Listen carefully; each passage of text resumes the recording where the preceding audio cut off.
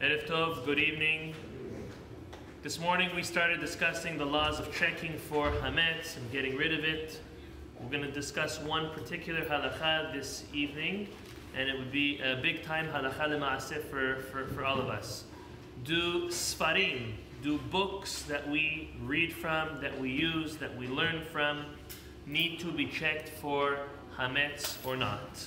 First, we have to identify what the doubt or what the reason we would need to check it for is.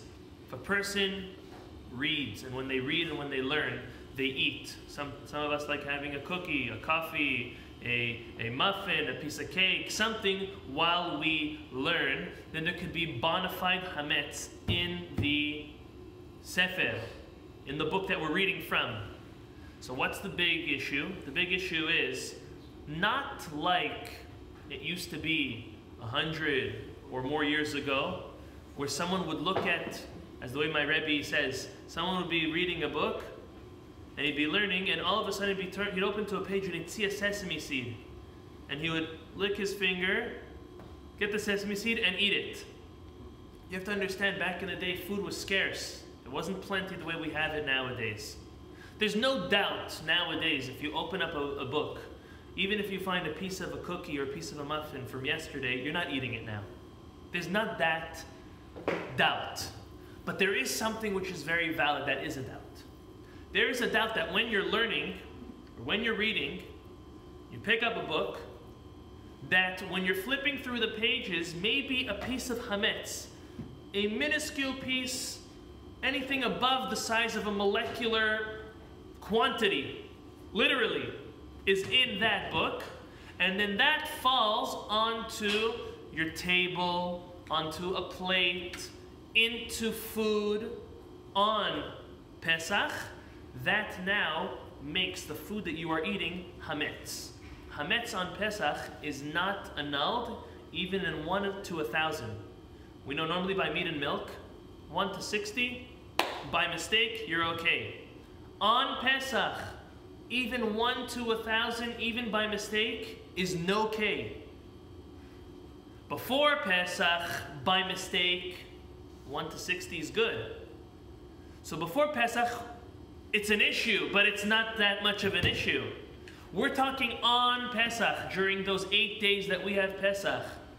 I go and I take off from my shelf a book that I had one time in the past 12 months or in the past 12 years even. I had a cookie, I had a biscuit with this book. Shabbat morning, I brought it to the table. I brought it to the table during Shabbat lunch. There was a question, we were reading something. I pull out on Pesach that book and I have it with my matzah and chocolate the way I like it.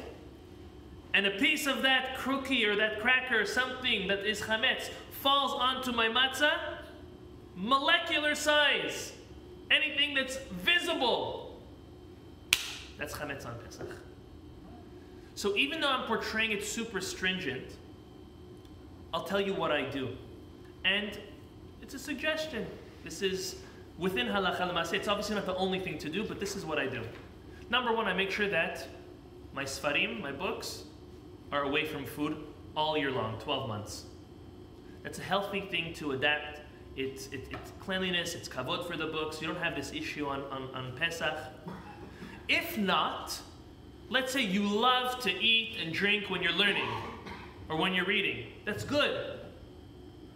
But what do you do? Anything you plan on using for Pesach and you know, or there's a, there's a plausible doubt that you did eat while you read and learned from that book, those books you need to check for Pesach.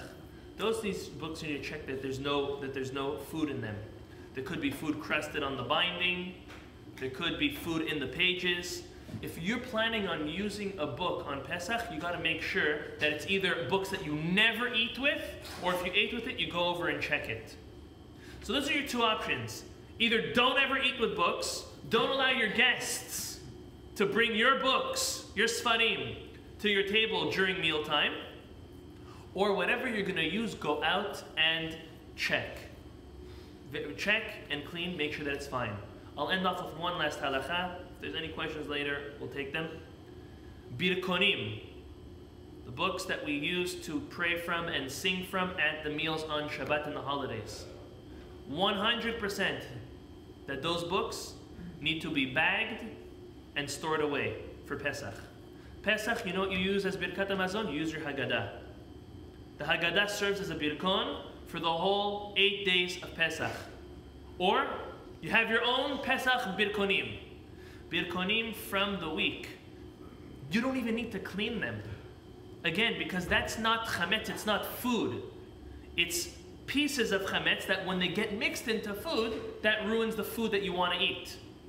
So birkonim, as dirty as they are, crusted, sometimes you have pages that are stuck together, there's so much food in there. God bless those birkonim, no problem. Don't clean them.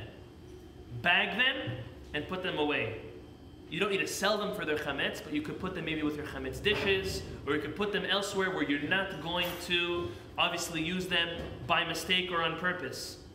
So again, books that you will use on Pesach need to make sure they don't have chametz in it. Either never eat with them, or if you eat with them, clean them. Birkonim, put them very far away because those are almost impossible to clean and something that we're definitely not going to use. This is the law, practical law for checking books. There's a machloket, Sfaradim, Ashkenazim, Machmirim, Mekilim. Clean your books, no clean your books, check your books, don't check your books. The way my Rebbe taught to me and the way I hold is that it depends on the metziut, it depends on the facts.